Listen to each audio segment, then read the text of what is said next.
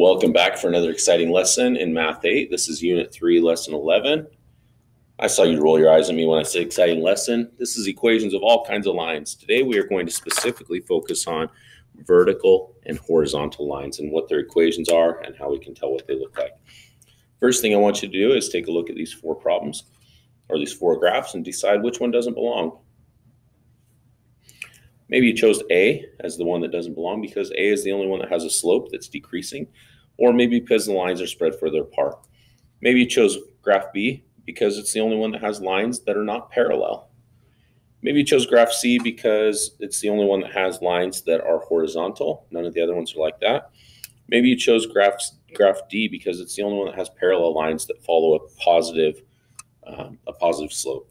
Any number of reasons could be the reason for why something doesn't belong, as long as you have correct and effective evidence of truth there. Today, what we're going to work on is looking at what happens when we get a vertical and a horizontal line. In this case, what we're after is we're supposed to plot at least 10 points whose y coordinate is negative 4. What do you notice about them? I find it quite effective to go ahead and, and write or to make a, a function table that shows me how to use this. I'm going to use a horizontal or a horizontal function table where I have my x and y coordinates set up like this. And what I know about this, it says whose y coordinate is negative 4. So every time I do this, let's make sure I do y equals negative 4. So what if x is negative 1? Then y is negative 4. If x is 0, then y is negative 4. If x is 1, then y is negative 4. If x is 2, then y is negative 4. You kind of catching on to the pattern here? What we're saying y coordinate is 4. I have no other option for that use. So what I can do with this, with that negative 4, I can come right along here along this negative 4. I had that ordered pair and that ordered pair. I have one negative 4 and two negative 4, and you can see a pattern developing. That pattern would continue all the way along because we know that lines have the potential to go on forever. So when I look at this, my line that says y equals negative 4 is right here. So now how would I make an equation for that line? Which one makes the most sense of these four that are down here? This one says x equals negative 4, yet I didn't use x equals negative 4. I could have and had a point right here because I see negative 4 and negative 4 right here. But that's not the case all the way through. X does not always equal negative 4. If I were to use this equation that says y equals negative 4 times x, well, we've learned that this is the constant of proportionality, meaning that my slope would be negative 4 over 1. That would mean that I have to go down 4 units into the right one, which means that I actually don't get a vertical line out of this one. That one can't be it. Um, this one, y equals negative 4, that one seems like that makes the most sense because y coordinate is negative 4. y coordinate is negative 4. It's the exact same values, just in a different symbols. We know that this last one can't be it because when you add x and y together, it equals negative 4, and that doesn't happen except for right here. This is the only one, 0, negative 4, that will actually make this one true. So why is it that y equals negative 4 is the most accurate or makes the most sense? Because all y coordinates are only equal to negative 4. It's our only option. Okay? All right. So what about this next part? It says plot at least 10 points where x coordinate is 3. Now you're probably thinking, oh, okay, well, if the first time we did this, all of my y coordinates were negative 4, what do we have right here? If my x has to be 3, then x has to be 3, 3, 3, 3, 3.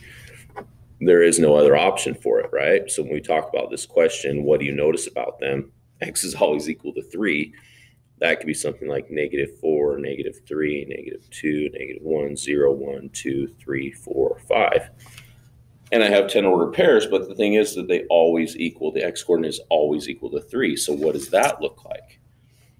Well, if we take a look at here, I had ones like this. I had negative 3, negative 4, 3, negative 5, 3, or excuse me, 3, negative 5, 3, negative 4, 3, negative 3, negative 2, negative. You kind of see the idea, of the pattern that's being developed here When all of the x coordinates are equal to 3, I get a vertical line. And it's a perfect vertical line. So now when we talk about this side over here, with which equation makes the most sense to represent this situation and this situation right here, the only thing that I can really think of is x equals 3 because we are literally saying x is 3. There is no other option for this. Simply x is 3. So then what happens if we take a graph of x equals negative 2? Well, then we are stating right here that x is negative 2. There is no other option. x only equals negative 2. So when we take a look on here on my coordinate plane, back to this one, x only equals negative 2. Well, this is negative 2, 0, negative 2, 1, negative 2, 2, negative 2, 3. You start to see the idea of the pattern when x equals negative 2. That means there's no other option for the x coordinates. And we see a vertical line. What if we take the next one and we say y equals 5? Well, if y equals 5, I think by now we've kind of caught on that that means that the y coordinate is only equal to 5. If I go and find any ordered pair, like if I like 1, 5, okay, I also have to like 2, 5, and 3, 5, and 4, 5, and 5, 5, and 6, 5, because y is only equal to 5. That's the only option I get for y, and that gives me a horizontal line. So that's kind of some cool information.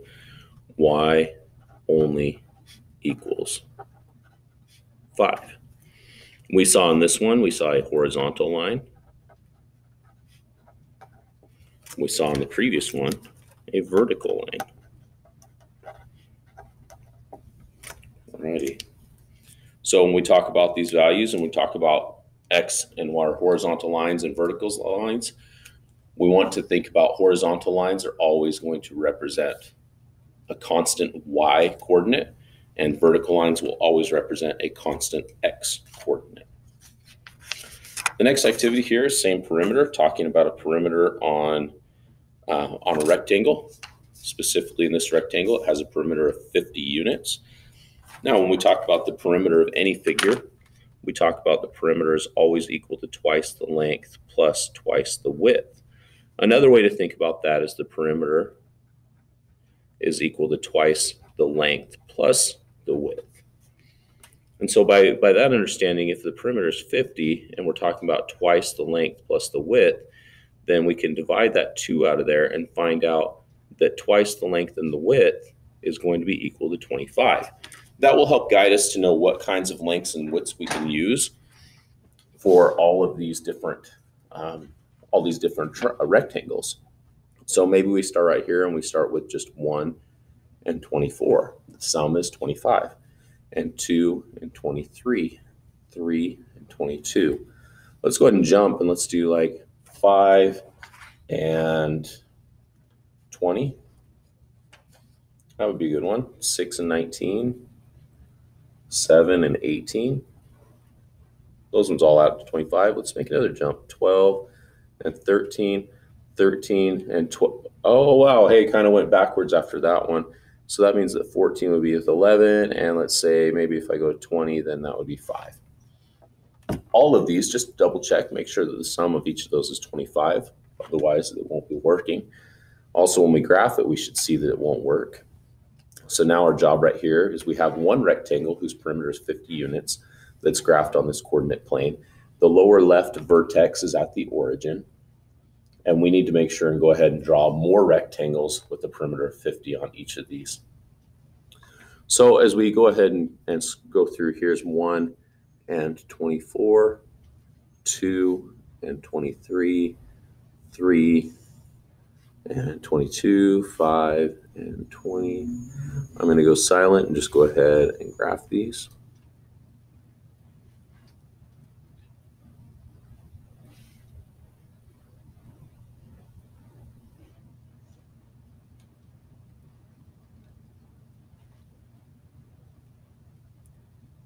right?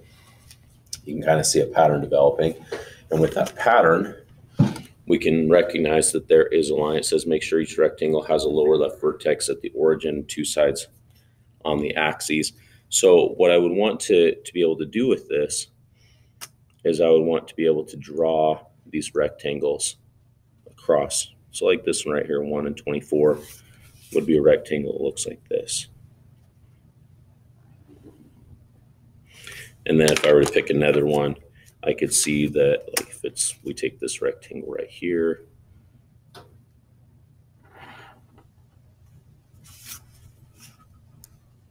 And again, keep in mind that the other two sides that we're not drawing in are the X and the Y axes. Okay, and you can see that there's a lot of different rectangles. Here's my original rectangle for this situation.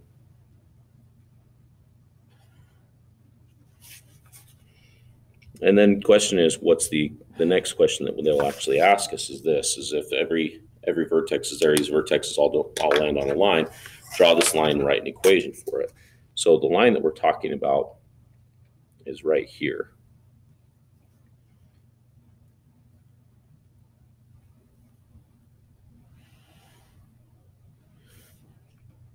Now there's one thing that I, I want to make mention of before I write the equation for this line.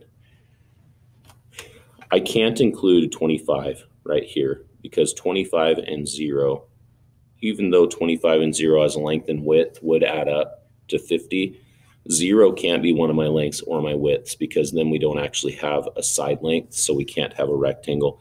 The same is true here at 0 and 25. So what I did with this, you can see that I left an open circle at the very ends of these to indicate that we are using this line, but we are not including 25 as one of those actual ordered pairs or one of the coordinates for those ordered pairs is one of the sides. Still, though, we can write an equation for this. Remember that when we write an equation for this, what we've learned is slope intercept form. So we need to know what the slope is and we need to know what the y-intercept is.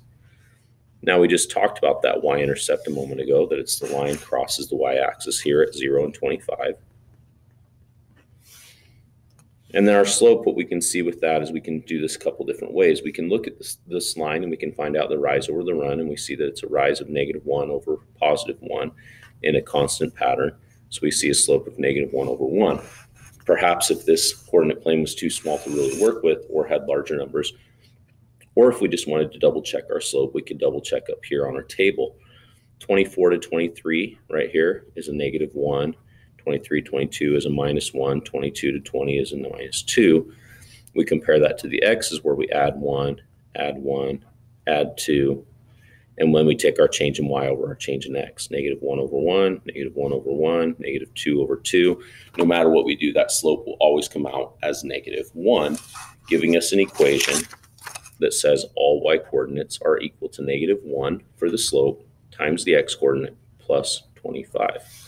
And then we can just verify that that equation works by substituting these values from our table in up here just to check a couple. Negative 1 times um, 1 plus 25 is supposed to be equal to 24. That makes that negative 1 plus 25 is certainly 24. And you can see we substitute those values for x and y many times, and we'll see that it comes out true every time. So then the final question for this lesson is what is the slope of this line, and how does the slope describe how the width changes as the length changes, or vice versa? We saw that the slope here was equal to negative 1 over positive 1. What I like to do is I like to go ahead and label my change in y over my change in x. My change in y was the negative 1 on the width over positive 1 on the length. That usually helps me to understand how I can start to describe this. What I'm saying is as I decrease by 1 on the width, I am increasing by 1 on the length. So decrease by 1 on the width increase by one on the length. And this is a common, uh, the, the correct and accurate response for all the way through this. I should say then increase. So when I decrease by one on the width, I then I increase by one on the length. And this is a constant pattern that we can see evidenced in our table as well as into our graph. So the big lesson of today is this Horizontal lines in the coordinate plane represent situations where the y value doesn't change.